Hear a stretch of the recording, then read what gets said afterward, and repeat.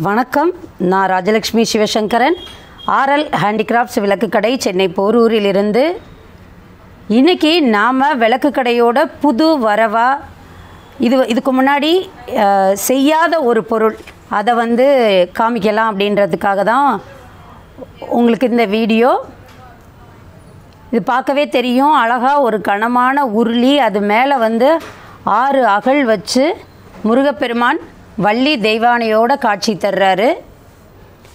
இது நம்ம கடைக்கு வந்து திருவல்லிக்கேணியிலேருந்து வந்த திருமதி மாலதி கருணாகரன் அவங்களோட வேண்டுகோளுக்கிணங்க செஞ்ச செய்யப்பட்டது.